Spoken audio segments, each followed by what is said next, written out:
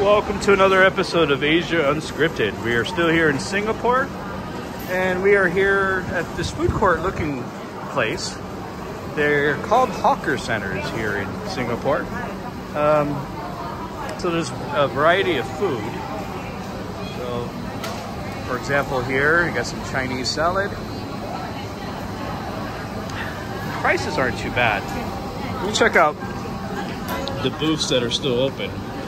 I'm not sure if uh, you notice there's a lot of them that are closed. I'm not sure if they're closed because of COVID or if they're closed because it's after 7 o'clock in the evening. Some various desserts.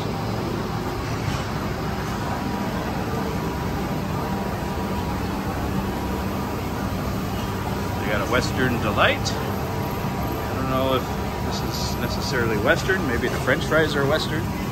but that's what that looks like.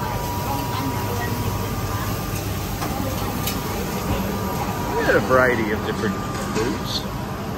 You can always find something that you like. Some soups for $5, $4. Always a place to buy drinks.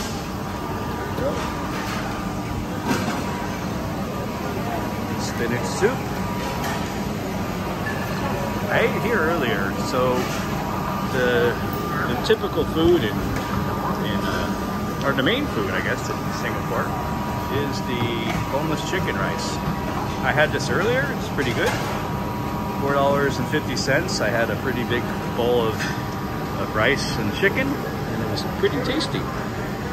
So again, these are Singapore prices I'm quoting. There's some prices for this, the uh, spinach soup aisle kiosk.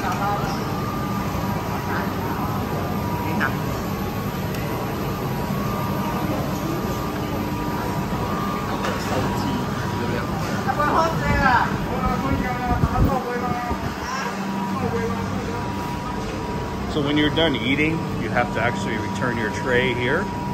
Um, they say they will fine you if you don't. I don't know if that's true or you know they're just trying to scare people or whatnot. So over here we got some more stuff. So we got some more desserts.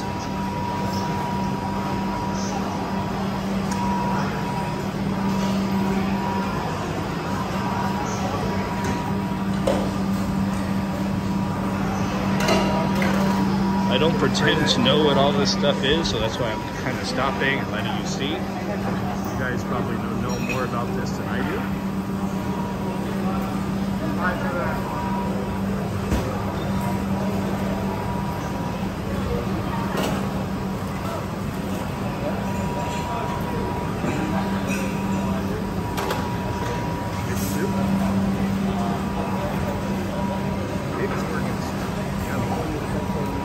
we all want some pig organ soup. Some Indonesian cuisine. A lot of people don't realize Indonesia is really close to Singapore. You can take a ferry and be in Singapore, excuse me, be in Indonesia in an hour. So, um, we're really close. So, so Singapore is kind of smack in between um, Malaysia to the north and then Indonesia to the south.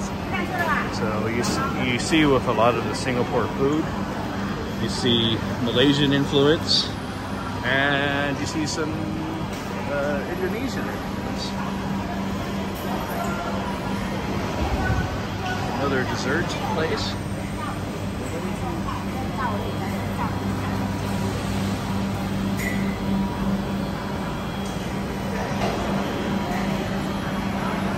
Got some spring rolls, homemade.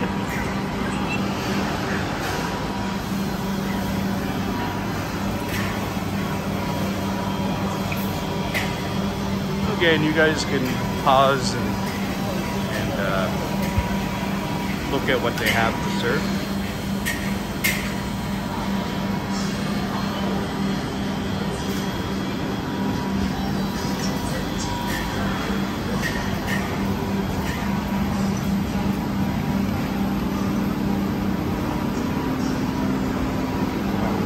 This is a place I also ate at earlier.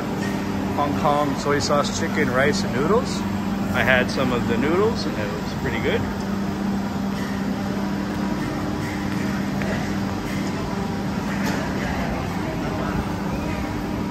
Looks like we got some duck rice. Duck rice. Prices are pretty reasonable. Three bucks Singapore. That's uh, less than three bucks US. A lot of cheap food here. So this is the place to go. You know, Singapore is known as a as an expensive place, but the food is one of the few bargains. As long as you stay away from Western food. I went to Five Guys Burgers and Fries from the States earlier. They have one here in Singapore. I paid almost 20 bucks for a cheeseburger, double cheeseburger, fries, and a drink. So, uh, yeah, a little much. But it was worth it. This place seems to be popular.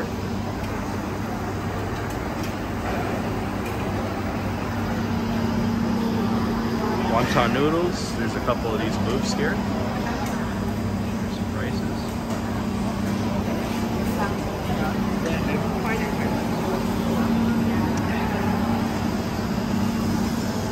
I would imagine during lunchtime, these places are a lot busier. There are a lot of offices around here. Uh, it is evening, so I'm hoping that's why some of these businesses are closed. I'm hoping they're not COVID casualties.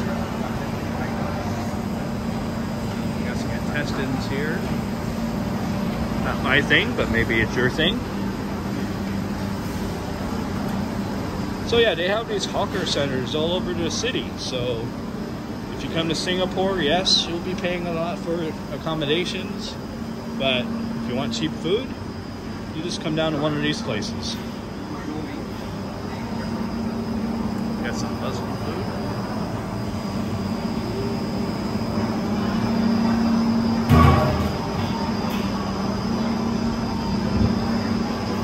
Yeah, I would say less than half of these places are actually open. So, like I said, I hope they're not COVID casualties. So in the next video, we're gonna go down to this uh, night market and check out what they have. So take care, you guys. Um, I will see you on the next episode of Asia Unscripted. You guys have a good day, and I'll talk to you next time.